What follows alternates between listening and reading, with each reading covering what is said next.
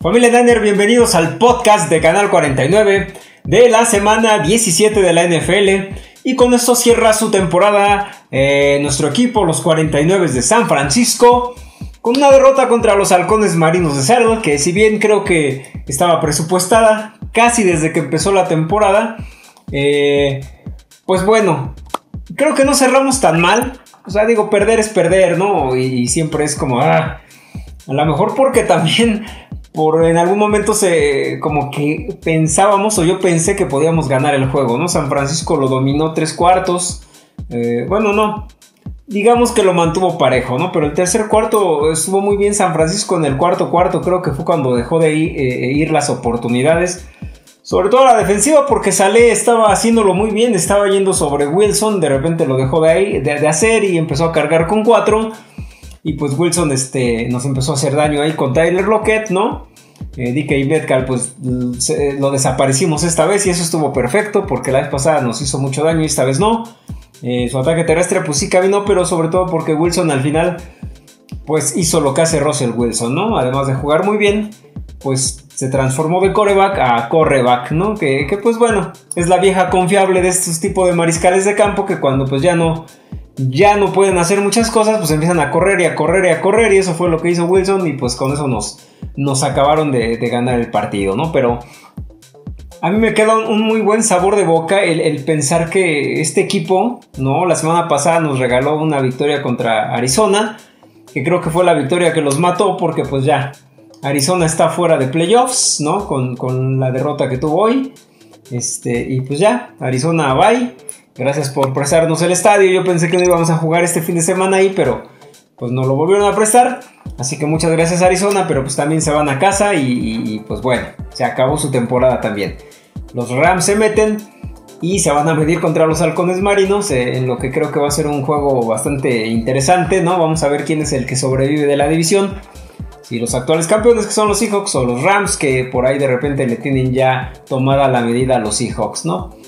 Este, pero bueno, regresando al juego, creo que eso, creo, creo que eso fue lo, que me dejó a mí un muy buen sabor de boca, ¿no? Haber ganado los 8 días y esta semana haberle competido a unos halcones marinos que em, en el papel lucían mucho más fuertes, ¿no? En el papel se pensaba que nos podían incluso apalear, porque aparte Pete Carroll pues no se guardó nada, ¿no? Por ahí algunos eh, fans de los Seahawks inclusive pensaban que ya no iba a jugar con sus titulares que a lo mejor iba a salir a, pues nada más a, tratar de mantener el juego, cuidar a sus estrellas para, para, los juegos de playoffs, porque pues ya prácticamente era, era inamovible su tercer lugar, ¿no? Porque pues bueno, se sabía que ni, ni Green Bay ni Nueva Orleans iban a perder, entonces ya si ganar o perder le daba exactamente lo mismo. Pero creo que también creo que la apuesta le sale un poco cara al señor Pete Carroll porque pues por ahí sale golpeado Jamal Adams ¿no? Que quién sabe habrá que ver qué le pasó. Pero podría no contar con él para el juego contra, contra los carneros. Y Jamal Adams, pues sí les cambia la cara a su defensiva. Por ahí este, un liniero que se apida Reed, no recuerdo bien su nombre, también salió lastimado. Entonces creo que Seattle, eh, esta obsesión de Carroll por quererle ganar a San Francisco le salió un poquito a cara. Y quién sabe si les vaya a costar eh, su permanencia en playoffs, al menos con los carneros. La verdad es que yo no vi a unos halcones marinos fuertes. Desde la semana pasada contra Arizona no les vi mucho. Esta semana lo confirmo porque pues jugaron contra unos 49 completamente mermados, ¿no? Había prácticamente 90 millones de dólares en los palcos, ¿no? Ahí estaba Jimmy Garoppolo, estaba Richard Sherman, estaba Trent Williams, estaba Divo Samuel, estaba Brandon Ayuk. Básicamente nuestra ofensiva estaba toda lastimada este, algunos elementos de la defensa que ya sabemos, además de Sherman, pues Bosa, Kinlow no estuvo. Y, este, y pues bueno, jugamos con un equipo suplente. Y, como dijera el meme, ¿no? ¿De qué te ríes? Pues casi te gano. casi le ganamos a los Seahawks con este equipo de banca.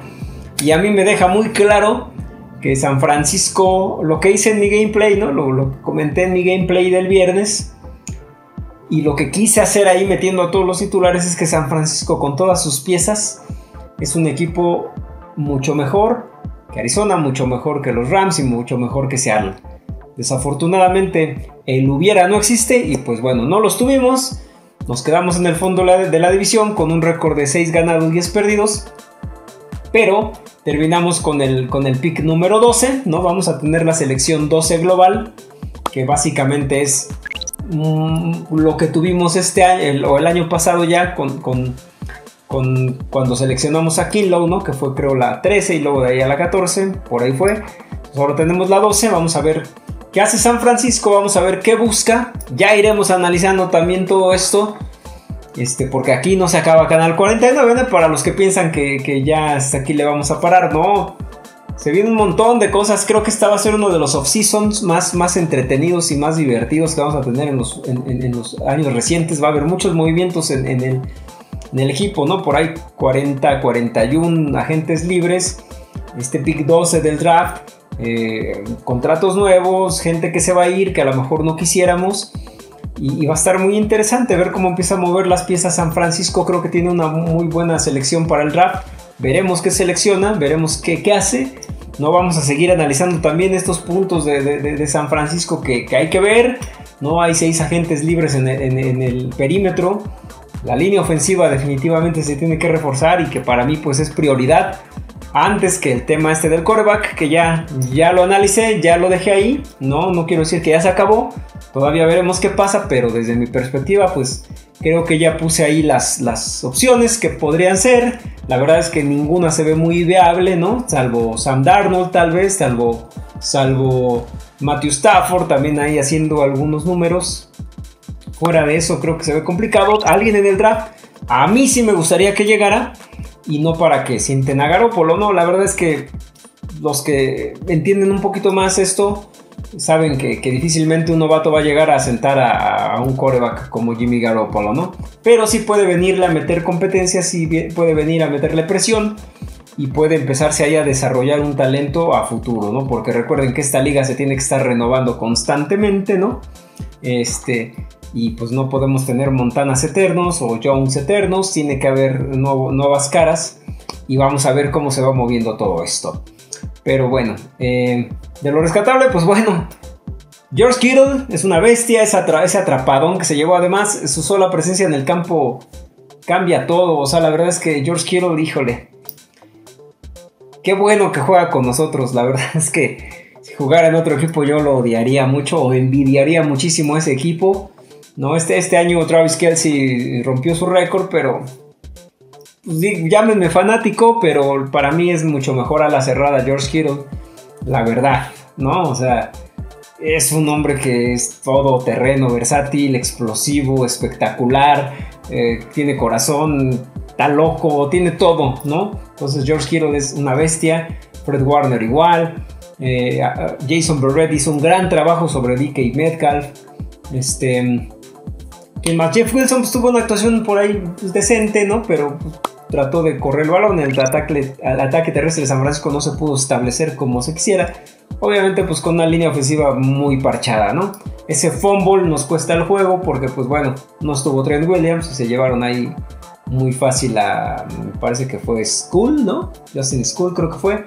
Entonces, pues bueno, circunstancias de los juegos, pero bueno, eh, se compitió, se compitió bien y, para... Ah, también el pateador este vizcaíno, que la verdad, pues, más allá de, las distancias que pateó, la verdad es que yo le vi un cañón en la pierna y, híjole, de haber sabido que este chavo estaba, a lo mejor y yo me hubiera ahorrado el contrato de Robbie Gold, parece que tiene, parece que tiene con que este vizcaíno, ¿no? Entonces, pues bueno, supongo yo que saldrá barato. Si Robbie Gold del próximo año no nos da lo que nos tiene que dar, parece ser que tenemos a alguien ahí que puede venir y ayudarnos mucho porque saben, ustedes saben que un pateador pues es una posición importantísima en esta liga, ¿no? Te define partidos, te los gana o te los pierde. Entonces, bueno, Vizcaíno también alguien eh, muy importante el día de hoy, alguien a, resaltar. Y en general el, el, equipo pues creo que cierra bien la temporada. Me parece, yo me voy contento. Yo la verdad es que ni siquiera hice coraje soy muy enojón cuando pierde San Francisco, pero esta vez no. La verdad es que me gustó ver, a mí en lo personal me gustó ver la cara de Pete Carroll. Este, ya al final ya tenían la victoria y se le veía frustrado, se le veía enojado, se le veía como como que no sabía por qué, por qué demonios con su equipo titular.